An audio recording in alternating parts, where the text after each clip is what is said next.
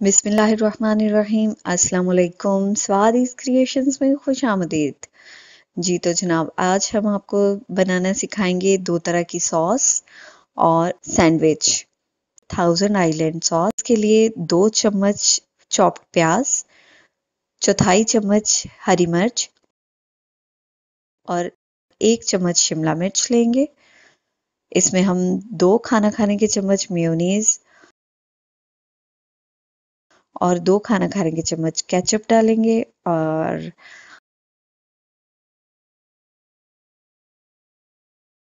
आधा चाय का चम्मच सफ़ेद मिर्च और एक चुटकी नमक डाल के इसको खूब अच्छे से मिक्स कर लेंगे।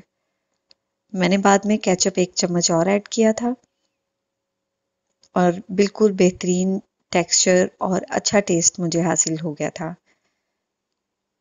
अब आपको बाज़ार से थाउज़ेंड आइलैंड लाने की ज़रूरत नहीं है। ये सॉस बहुत आसानी के साथ आप घर में बना सकते हैं और बाज़ार की सॉस से ज़्यादा ही टेस्टी होगी।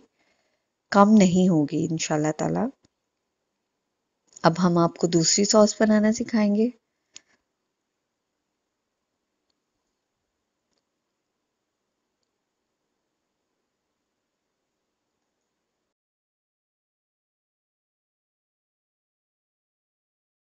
इस सॉस का नाम है टैक्स मैक्स सॉस। इसके लिए दो चम्मच प्याज, दो चम्मच शिमला मिर्च और कुछ मकदार में हरी मिर्च लेंगे और छः चम्मच केचप या चिली केचप ले लीजिएगा। चिली सॉस जो होती है और इसको खूब अच्छी तरह से मिक्स कर लीजिएगा। देखिए, आसान तरीन इंग्रेडिएंट्स के साथ बहुत अच्छी, मज़ेदार डिफरेंट फ्लेवर की हमने दो सॉसेज आसानी से घर में तैयार कर ली हैं। अब हम सैंडविच असेंबल करेंगे। चिकन टिक्का की रेसिपी मैं आपको पहले भी सिखा चुकी हूँ। उसी रेसिपी से हमने चिकन मैरिनेट करके और इसको कुक करके तैयार कर लिया है। अब हम अपना पैन ग्रीस करके धीमी आँच पे स्लाइसेस को सेक लेंगे। दोनों साइडों को अच्छे से सेक के गोल्डन कर लेंगे, कुछ इस तरह से।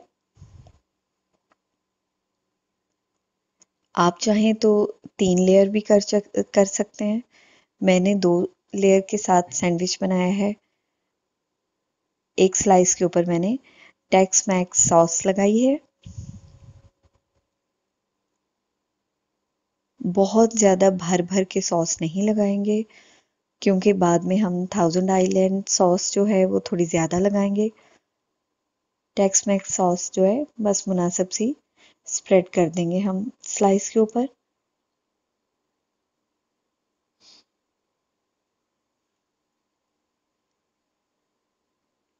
आप चाहें तो आइसबर्ग लेटस या कोई भी और सलाद रखना चाहें तो ज़रूर रखें। खीरे के स्लाइस या टमाटर के स्लाइस प्याज के स्लाइस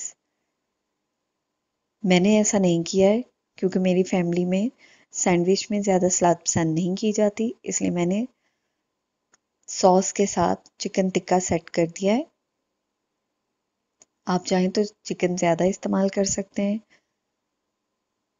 अब इस चिकन टिक्का के ऊपर थाउज़ेंड आइलैंड सॉस पोर कर दें।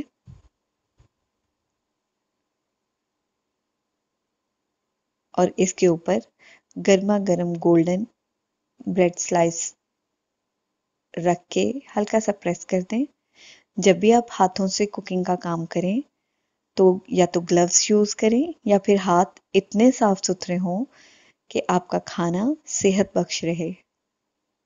नाखून कटे हुए हों, हाथ धुले हुए हों, क्योंकि खाने का लुत्फ ही तब ज़्यादा निकल के आता है, जायका तभी निकल के आता है जब हाथों से काम किया गया हो। हर काम चम्मच से नहीं किया जा सकता। लीजिए, हमारे गर्मा गर्म सैंडविच तैयार हैं। आप इसको कोई भी शेप दे सकते हैं। इसके ऊपर एक और लेयर लगा के, एक और स्लाइस रख के इसको डबल डेकर कर सकते हैं। अभी मैं एक और तरीके से सैंडविच को असेंबल करने का तरीका बताने वाली हूँ।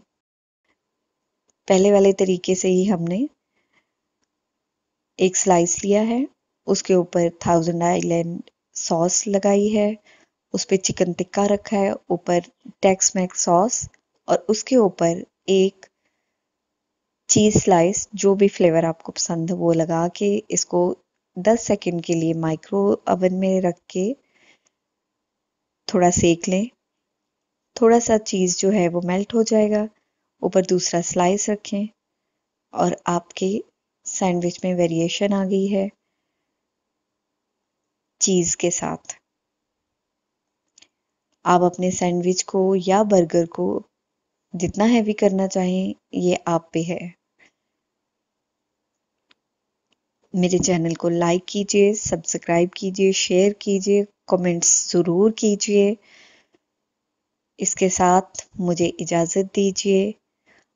अपना खूब ख्याल रखिए सेहत बख्श खाइए सेहतमंद रहें। अल्लाह हाफिज़।